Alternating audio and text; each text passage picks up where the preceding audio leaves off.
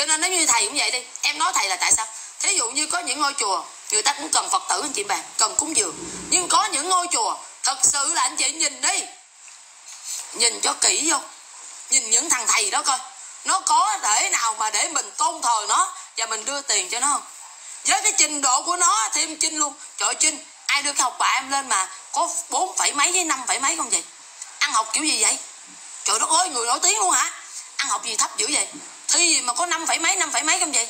Cái đó ta gọi là trung bình đó, chưa được khá luôn hả? Thí dụ mình rớt một môn cũng đỡ anh chị bạn, rớt đều luôn. Cho nên anh chị bạn đừng buồn. Đó, mình cũng người nổi tiếng được không?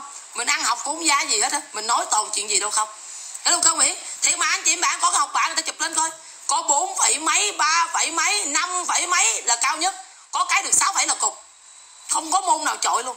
Có nghĩa là nó dốt bẩm sinh nó là nó dốt từ trong bụng nó dốt ra luôn. Có cố gắng, có mài dũa cũng không được tại vì vốn dĩ nó khó học luôn á. Mới có cấp 1 thôi. Muốn có cấp 1 thôi à mà cũng chưa được loại, loại giỏi luôn hả?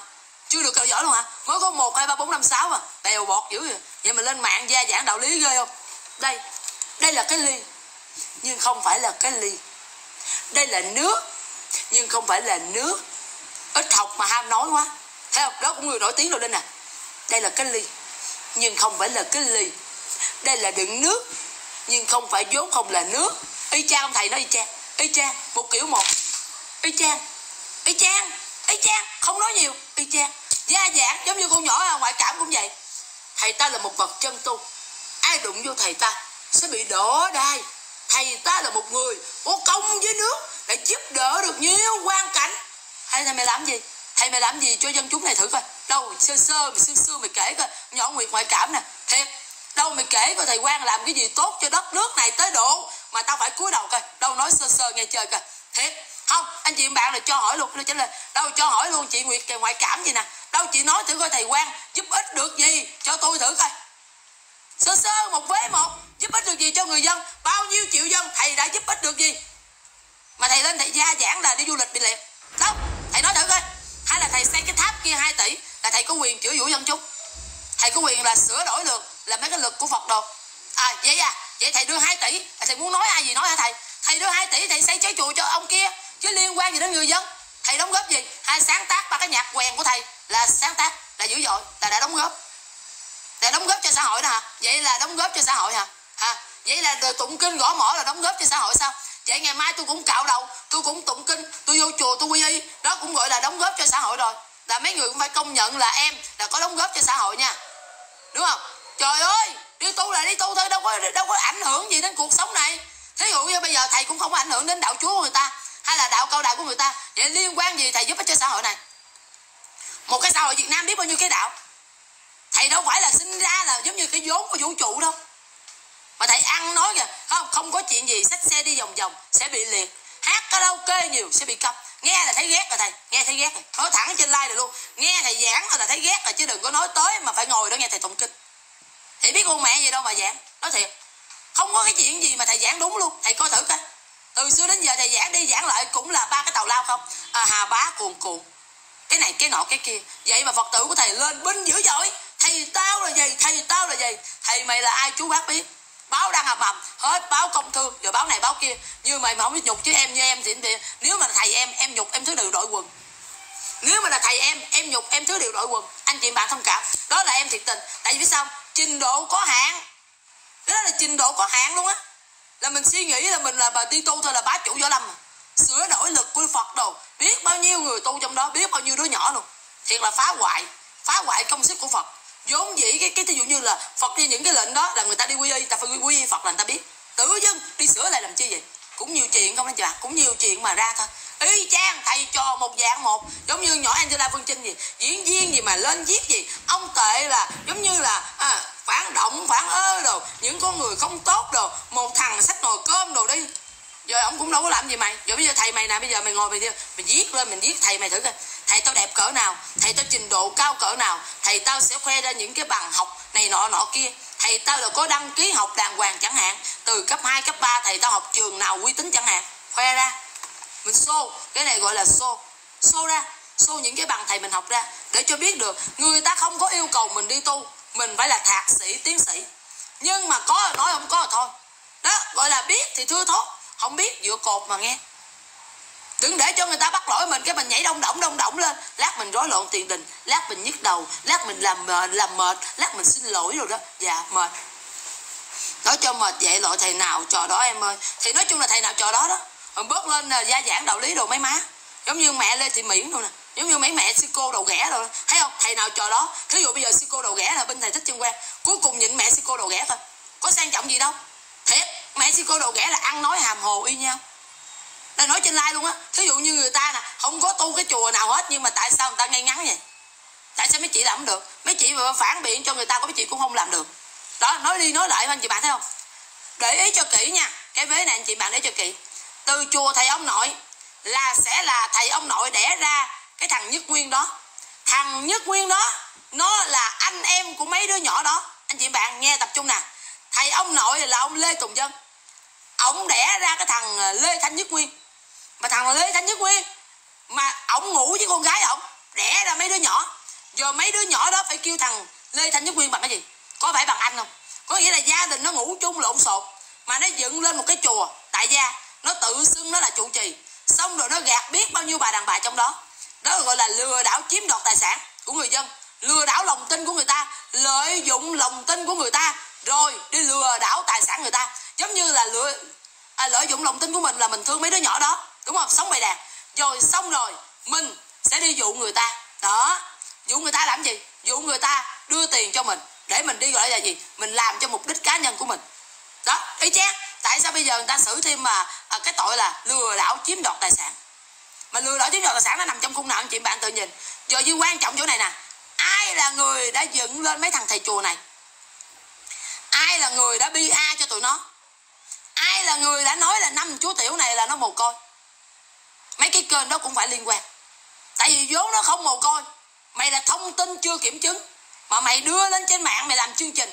Mày nói nó là trẻ mồ côi. Để mày đánh lòng thương của người ta. Người dân cả nước này nhìn vô tưởng nó mồ côi. Giờ luôn cả những cái người bên hải ngoại nữa, người ta lại tưởng nó mồ côi. Nhưng cuối cùng, nó là con của thầy ông nội. Rồi cuối cùng lại là tụi mày lừa đảo người dân. Tụi mày thấy người dân người ta thương mấy đứa nhỏ đó, thì tụi mày đa đa dựng lên là mấy đứa nhỏ đó không cha không mẹ thì cuộc đời này quá trời quá đất không? Vậy là chỉ là tụi mày cái đầu chùa của tụi mày thôi, mà làm lộn nguyên xã hội luôn. Không đúng à? Chỉ là tụi mày cạo đầu thôi, là tụi mày muốn nói ai nói. Tụi mày muốn nói đứa này mồ côi là mồ côi. Đứa này nhiêu đây là nhiêu đây. Đứa này tiến sĩ là tiến sĩ. Đứa này phật học là phật học. Ủa, vậy là tụi mày được quyền nói à? Rồi những người người ta có con đi học như ta vậy, giờ con tao đi học 4 năm, giờ thằng thầy mày học 2 năm, làm sao có cửa? Làm sao có cửa? Phải hỏi cho bằng được bộ giáo dục là tại sao con tôi học đại học mà phải 4 năm? Mà tại sao thầy học tiến sĩ thạc sĩ chỉ hai năm? Hỏi tiếp, anh chị bạn, nên hỏi tiếp. Nên hỏi tiếp, này nói thiệt. Anh chị bạn có con nên hỏi tiếp. Tránh tình trạng, lừa đảo, chiếm đoạt tài sản sẽ diễn ra trong nay mai. Là những thằng thầy nó ăn học không ra gì. Sau này nó đem cái bằng của nó nó đi làm này làm nọ làm kia. Rồi sao? Anh chị bạn nghĩ đi. Nó phát minh ra loại thuốc này, nó phát minh ra loại thuốc nọ, nó cho mình uống là thấy bà mình luôn. Thiệt nó sẽ làm những chuyện đó trong nay mai, hay là nó xây cái này cái kia, nó dạy con mình. Thực ra trình độ nó có một bằng hộp muối, mà nó dạy tới hộp me. Rồi sao? Hay nó dạy qua tới hộp đậu luôn. Là con mình nó sẽ ngu theo đâu được anh chị bạn. Giống vậy nè, giống như mình thầy giáo vậy. Nếu mình không có trình độ, thì mình không thể nào dạy cho đám nhỏ ra được. Nếu là tiểu học, thì trình độ tiểu học. Nếu mà trình độ cấp 2 là cô giáo phải đạt chuẩn dạy cấp 2 mà nếu qua cấp 3 rồi, thì phải dạy mà nếu đại học, thì phải làm sao? Mà nếu thầy ăn chấm mút tiểu học thôi, thì thầy dạy con mẹ gì cho con tôi bây giờ? Tại sao người ta phải cần nghiêm túc về vấn đề học vấn? Cái đó là sự thật, anh chị bạn. Nếu nó chỉ gõ mở tụng kinh thôi, thì nó học đến lớp mấy cái chuyện của nó. Tu thôi mà, anh chị bạn. Đọc chữ được là đọc kinh được. Ok. Nhưng mà mình phải nâng cao kiến thức. Tại vì bây giờ là 4.0 chuyển qua rồi. Thì mình phải hiện đại là thầy bà cũng phải đi học. Học chi biết không? Để nâng cao kiến thức. Nâng cao kiến thức để mình mở đạo tràng. Mở đạo tràng để mình giảng cho người ta nghe. Là khi mình giảng cho người ta nghe là bây giờ anh chị bạn cái điện thoại này từ đâu có chẳng hạn. Lý do người ta làm cho cái điện thoại này để làm gì? Là khi mình nói đó mình cầm lên cái điện thoại. Khi mà mình đang giảng ừ cái điện thoại đó chức năng của nó nghe gọi chọi là phải cầm lên. Cái này nè anh chị bạn nghe được gọi được chọi vô mặt được là cái điện thoại. Đó thì khi thầy giảng kinh cũng vậy. Ờ, nghiệp báo là gì trong sách có ghi thì thầy phải diễn tả được. Tại sao chúng ta đập đầu cá là nghiệp thầy? Nhưng mà thầy phải suy nghĩ lại. À từ xưa giờ con cá nó đã có trước chúng ta. Con cá nó nằm dưới nước sẵn rồi. Và những người xưa giờ từ dân, hồi xưa ông bà mình cũng vậy, cũng phải đi câu cá, cũng phải bắt cá về để ăn. Cho nên không gọi là đập đầu cá là nghiệp để cúng chỉ vàng, mà chỉ là tâm chúng ta, một tuần lễ chúng ta có thể giảm bớt ăn cá một cho đến hai ngày để cho con cá nó sống thêm một, hai ngày. Như vậy là để mình tập ăn chay đó các con à chứ không phải không nên ăn cá. Mà ăn cá và giảm bớt để chúng ta, gọi là, tập tu hành. Khi chúng ta ăn lạc, tâm chúng ta tự nhiên sẽ nhẹ nhàng lại. Rồi nhắc nhở chúng ta là bữa đó chúng ta ăn chay, đừng có chửi thề trên mạng chẳng hạn. À bữa nay ăn tàu hũ đó thí, bớt chửi thề lại. ngày mai ăn cá rồi chửi tiếp con ơi. Thầy không biết à? Thầy sao thầy không giảng giống thầy pháp hòa được? Thầy pháp hòa nói đó, ăn chay là để mình tập tập tu, tập nhẹ nhàng, tập cho mình bớt làm điều ác. Mình nhắc nhở mình, chẳng hạn như ngày hôm nay muốn chửi lộn với con mẹ hàng xóm nhưng mà vì hôm nay ăn chay, mùng 1 cho nên mình nghỉ chửi, ngày mai mùng 2 mình chửi. Dạ. Cái đó là thực tế nhất. Thầy bao giờ biết không? Học là phải đi đôi với hành giống như khi chúng ta học sinh vậy vậy bạn. Nếu chúng ta muốn biết được tiết học đó, chúng ta mổ con gì, thì chúng ta phải bắt con trùng lên chúng ta mổ. Xong chúng ta coi động mạch nào là động mạch chính. Tim nó nằm đâu, ruột nó nằm đâu, gan nó nằm đâu, phèo nó nằm đâu, chúng ta phải gạch ra. Đó gọi là học kèm với hành nếu như thầy học xong mà thầy không có hành, thì cũng không xong nhưng nếu thầy không học mà thầy hành thì chết chúng sanh. Đơn giản thôi. Tại vì thầy đâu có học, đâu mà thầy giảng. Nếu mà thầy có trình độ thì khác. Giống như ông thầy dạy toán, thì căn bản ông phải là có trình độ môn toán. Giống như cô mẹ dạy văn, thì phải có căn bản về trình độ dạy văn.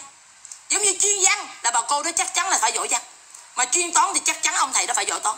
Mà mình chuyên tu thì chắc chắn mình phải đọc kinh nhiều. Đọc kinh nhiều để chi? Để mình chứng minh được nghiệp báo, phước báo nó nằm ở đâu và làm sao để giảm bớt cái tánh sân si của mình? Làm sao để chấp mê bớt ngộ? Làm sao mà ta gọi là không còn mà giống như là thù quán đồ đó? Người ta gọi là là bớt chấp là sẽ bớt khổ. Là giống như bây giờ mình ghét con mẹ hàng xóm hoài mà ngày nào mình ăn cơm cũng nói ừ, ghét mẹ hàng xóm ừ, ghét con mẹ hàng xóm ừ, ghét con mẹ hàng xóm. Thì mình ăn cơm sẽ không ngon. Nhưng mà chúng ta sởi tâm lên. Không con mẹ hàng xóm dễ thương. Con mẹ hàng xóm dễ thương. Hôm nay mùng 1 con mẹ hàng xóm dễ thương hôm nay mùng 1 con mẹ hàng xóm rất là dễ thương. Chúng ta phải nhắc nhở bạn mình, bản thân mình là con mẹ hàng xóm rất dễ thương trong ngày mùng 1 rồi mùng 2 mình đi thang máy mình gặp nó, con mẹ hàng xóm thật là thấy ghét. Tại vì mình là con người mà anh chị bạn, nhiều khi là nó nhìn nó xông si quá, mình bực. Con mẹ hàng xóm thật là thấy ghét. Ngày hôm qua tu thôi nha nhìn mày đó. Bữa nay mày đụng tới chế một cái, chơi hốt mày liền. Tại vì bữa nay mùng 2 không có nể nang gì nữa hết. Hôm qua mùng 1 nhịn thôi. Tại vì hôm qua đốt nhang trên bàn thờ nói là mùng 1 phát tâm tu hành. Dạ mùng 2 ra chợ mùng 3 làm gì thế? Mùng 3 ra đường. Mùng 4 là kiếm tiền, mùng 5 là xài tiền. Rồi bắt đầu vô mùng 1 lại bắt đầu ăn chay. Làm qua làm lại thì cũng hết một năm thôi. Chứ làm cái gì chúng ta mà không sân anh chị bạn kia hạ phương? Nhiều khi sùng máu lên là như lạc lạc viên quân đi. Nhỏ kia nó chửi, lạc viên quân là đồ đồ thế này, mày đồ thế kia tự nhiên qua nhà chửi mình ngon lành. Vậy mình nhìn nè. Nó đi qua nhà chửi mình chứ. Ai chứ được phật ai chứ được phật ai chứ được phật ai chứ được phật mỗi đứa một tập. Ai chứ được phật ai chứ được phật mỗi đứa một tập nhín nhín nhín là phải tu rồi nhín ám ôi chứ phật ai chứ phật vậy hả có hả hay là mày ừ, mày đừng chửi tao nữa nha mày ừ đó ừ tại tự nhiên mày qua nhà mày chửi tao mà đâu thể nhịn mày hoài được, một ngày được. Nhưng mà mày chửi ngày hôm nay, ngày mai mày qua chửi nữa sao? Không thể nào, đúng không? Không kêu công an được, thì phải xúc mày thôi chứ sao giờ? Nhiều khi cái máu mình bữa nó nó sân lên rồi anh chị bạn, mình lên cơn bậy bạ đó mình xúc nó luôn. Dạ. Cho nên tu là gì anh chị bạn? Tu là sửa. Nếu ngày hôm nay em không chửi mẹ hàng xóm, là sửa được một ngày. Nếu ngày mai em sửa được ngày nữa, là hai ngày. Còn 7 ngày sau mà em chửi mẹ đó, coi như là chữa được hai ngày cũng đỡ anh chị bạn. Có sửa là được.